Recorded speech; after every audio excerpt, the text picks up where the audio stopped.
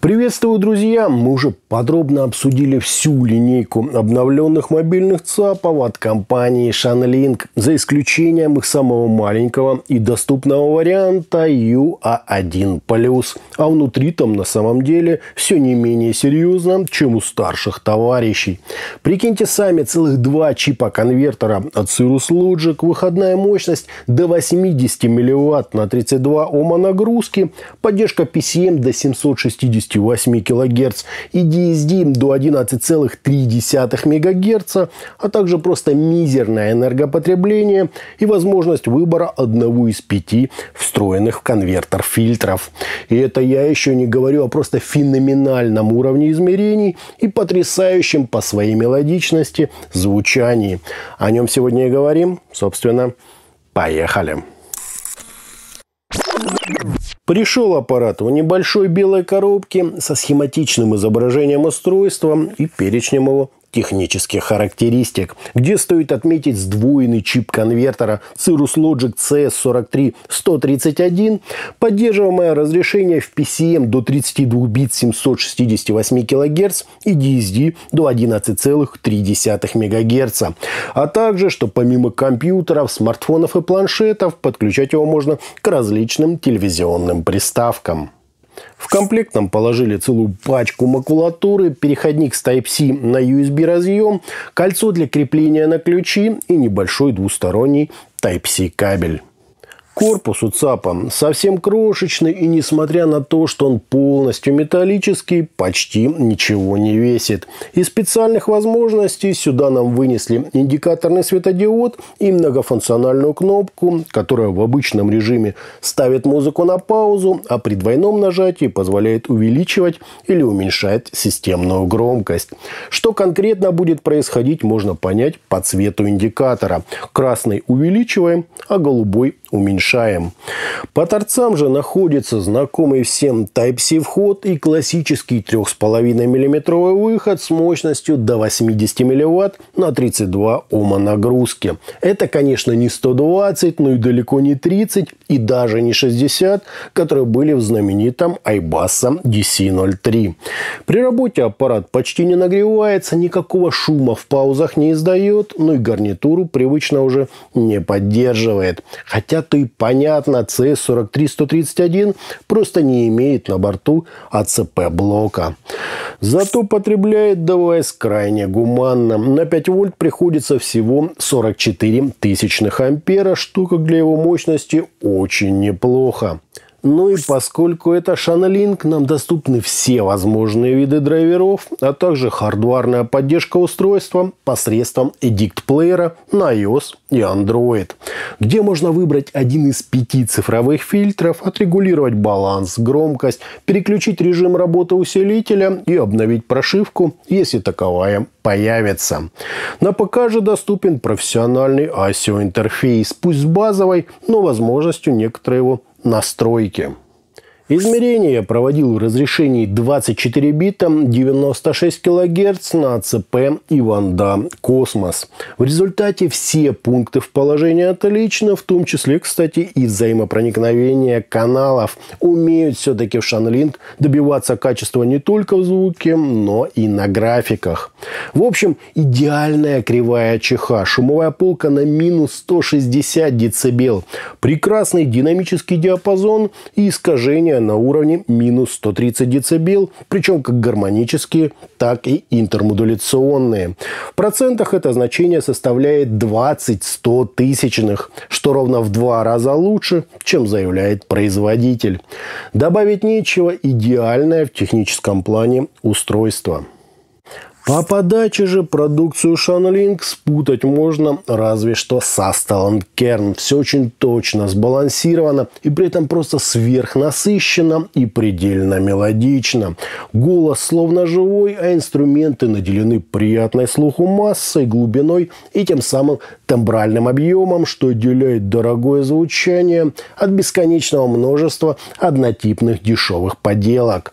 Кроме того, здесь просто феноменальная погружение погружение в материал, прекрасное разделение инструментов и особый такой уклон в певучесть. Реально UA1 Plus скорее не играет, а именно поет. С отличной выразительностью, динамикой и тем самым желанным многими вовлечением, когда одну и ту же композицию хочется слушать по кругу чуть ли не до бесконечности.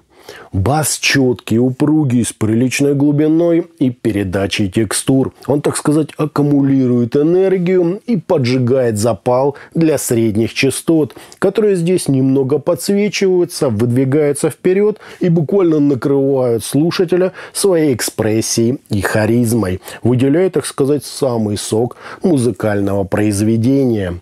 Подобный подход обычно встречается на виниловых проигрывателях, но Шанлинг, видимо, решили привнести это в массы. Слушать ее один плюс действительно просто сверхинтересно и невероятно комфортно. Причем высокие тут на 100% полноценные, с тем же легким смягчением, объемом и прекрасной протяженностью. Но на фоне выпуклой такой середины они естественным образом оттеняются, тем самым сглаживая шероховатости, убирая излишнюю резкость и маскируя различные огрехи записи и сведения. Сразу предупреждаю, для пущей достоверности я сравнивал 3,5 миллиметровый разъем героя обзора с таким же 3,5 миллиметровым разъемом других ЦАПов, даже если у них есть второй, более мощный балансный выход. Так вот, меньше всего Shanlink U1 Plus похож на Moondrop Dawn Pro. У последнего намного меньше собственной массы, он более резкий, напористый и лишь слегка мелодичный.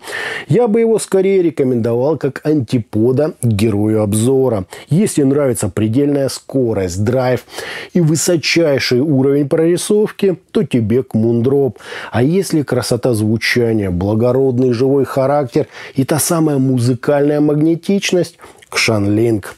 Гораздо ближе к нему оказался новенький Хидис S9 Pro Plus. Местами я даже затруднялся сказать, что конкретно из них сейчас играет. Но Хидис при столь же насыщенном и сверхвыразительном звучании все-таки обделен тембральным объемом и предлагает вместо него скорость, драйв и знакомую всем мониторность.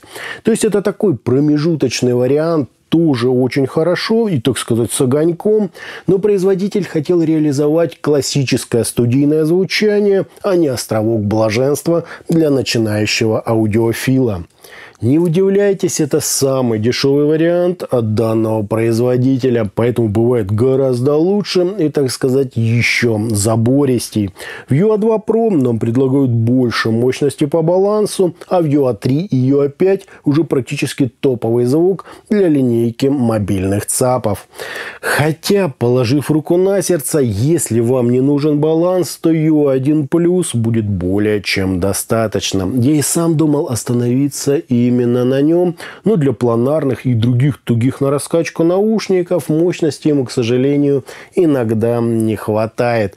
Да, 80 милливатт это немало, но это, согласитесь, и далеко не 240, которые UA2 и UA3 нам предлагают по балансу.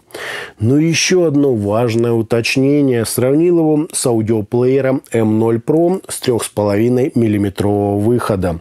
Как результат, по масштабу и мелодике у них был примерно паритет, а вот четкость, напористость и уровень разрешения оказались выше именно на герое обзора. Кому это важно, возьмите на заметку.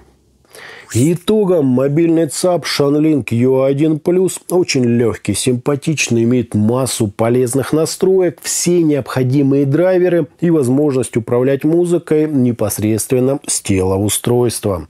Из минусов отмечу только отсутствие балансного выхода и отдельных клавиш для регулировки громкости.